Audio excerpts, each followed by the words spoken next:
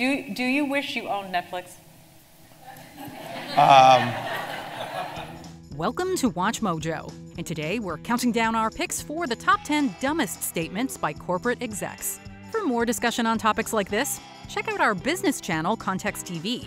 A lot of people don't belong in our clothes, and they can't belong. Are we exclusionary? Absolutely. Africans want to work, and its workers are willing to work for less than $2 per day. After the fact, it looks unbelievably stupid. For this list, we're looking at the most out of touch, damaging, or inappropriate statements made by corporate executives. Can you think of any other dumb lines? Let us know in the comments below. Number 10. The music industry as a sick dog. Doug Morris. Whoa, we're not stealing, okay? We're just sharing with each other, you know? It's no secret that the music industry was utterly rocked, no pun intended, by file sharing sites like Napster, which allowed anyone instant and free access to every major album and song. It was on college campuses with high speed internet that Napster really took off in the fall of 99. So, uh, how many MP3s do you have on your computer? About 600. Maybe like 100 or something? Uh, six or 7,000. The music industry floundered, including Universal Music Group CEO Doug Morris. During a profile with journalist Seth Mnookin, Morris claimed, quote, they just didn't know what to do. It's like if you were suddenly asked to operate on your dog to remove his kidney. What would you do? If hiring someone with digital business acumen sounds like a good idea, then Morris is quick to rebut with, quote, I wouldn't be able to recognize a good technology person. Phrases like good technology person tell you all you need to know about the music industry shakeup in the 2000s. The thing about music is that music should be available to anybody that wants to hear it. I think that that there should be no such thing as a price tag on music. Number 9. An electric toy. William Orton. From 1867 to 1878, William Orton served as president of the Western Union Telegraph Company. It was also around this time that Alexander Graham Bell was patenting the first telephone and starting AT&T. Telephone, huh? What about your telegraph? Oh, I'm, I'm going to give that up. This is much bigger and, and newer. In 1876, Orton and Western Union actually had the option to buy Bell's patent for $100,000, a considerable sum in the 19th century. He declined and defended his decision with a question. Quote, what use could this company make of an electric toy? Of course, hindsight is always 2020, but Orton's disastrous decision may be one of the biggest business blunders in American history. Telephones quickly spread throughout the world, and Bell became a household name. Did you know who William Orton was before we told you? After the fact, it looks unbelievably stupid. You just can't believe it. Maybe it's often given as one of the worst business decisions in the history of the United States. Number 8. High Value Programming. Jeff Bewkes. Much like Napster, Netflix completely changed the TV and movie industry by introducing streaming as a widespread form of media consumption. What Napster introduced America to was the idea that you could have a very large menu of content at your fingertips and you could hit a button and get that delivered. In Hollywood, the move toward direct to consumer business models has been incredibly disruptive.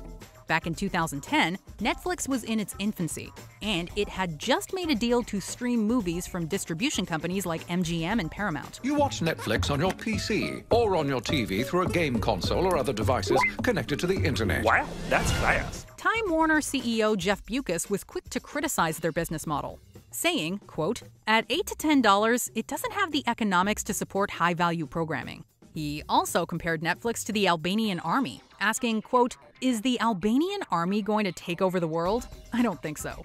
He was decisively proven wrong. Netflix did take over the world, and their economics has supported $200 million blockbusters and Oscar winning films. Do, do you wish you owned Netflix? Um, you know, you know, the, the only good answer for that, since it's worth how much? It's worth 20 or 30 billion dollars. Yeah, I wish I owned it personally. Number seven, no ugly people, please. Mike Jeffries. Until 2014, Mike Jeffries served as the CEO of popular clothes retailer Abercrombie & Fitch. In a 2006 interview with Salon, he explained their marketing philosophy as being, quote, exclusionary. Specifically, he said, quote, Candidly, we go after the cool kids. We go after the attractive, all American kid with a great attitude and a lot of friends. A lot of people don't belong, and they can't belong. Are we exclusionary? Absolutely. Shoppers on Park Avenue had a few things to say to Mr. Jeffries. I think it's going to affect their business because if they're only letting a certain type of people buy their clothes, then it's kind of going to hurt them.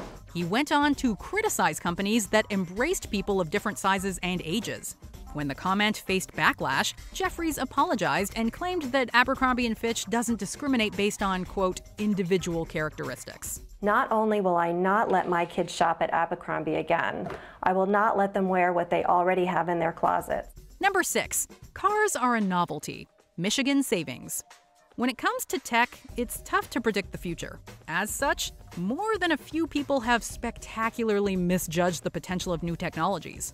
In the early 20th century, Henry Ford wished to incorporate his automaker company. So he hired a lawyer named Horace Rackham. Rackham personally bought $5,000 in Ford stock, against the advice of Michigan Savings Bank.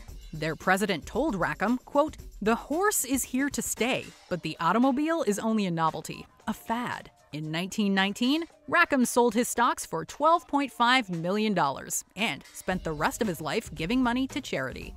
Number 5. Less than $2 a day. Gina Rinehart. Worth an estimated $15.6 billion US, Australian mining magnate and heiress Gina Rinehart generated immediate controversy with a video posted to the Sydney Mining Club's YouTube channel. In the 2012 clip, she lauded Africa on the grounds that, quote, Africans want to work, and its workers are willing to work for less than $2 a day. Such statistics make me worry for this country's future.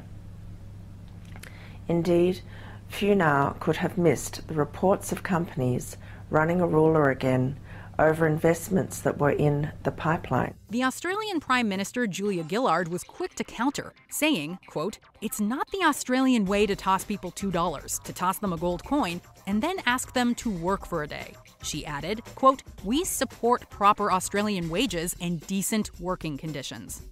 Number 4, kicking cigarettes. James Morgan. It's a well established fact that nicotine is addictive and that quitting smoking is difficult. Chandler, what are you doing? Chandler! Oh my god! You're smoking again? Well, actually, yesterday I was smoking again. Today I'm. I'm smoking still. However, according to tobacco executive James Morgan, quitting smoking is similar to quitting candy. In 1997, tobacco companies faced a $5 billion class action lawsuit filed by flight attendants who had been diagnosed with cancer due to secondhand smoke. During a deposition, Morgan was asked if cigarettes are addictive. He claimed they weren't, saying, quote, "If they are behaviorally addictive or habit forming, they are much more like caffeine, or in my case, gummy bears."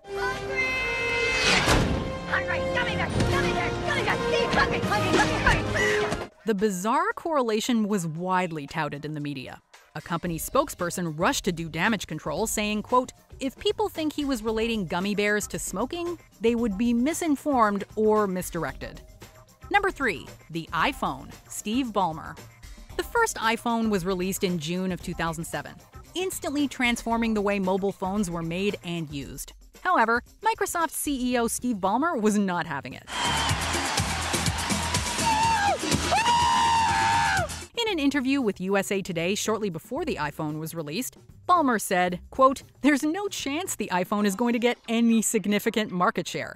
No chance." He continued with, quote, I'd prefer to have our software in 60% or 70% or 80% of them than I would to have 2% or 3%, which is what Apple might get. Right now, well, let's take phones first. Right Okay. now, we're selling millions and millions and millions of phones a year.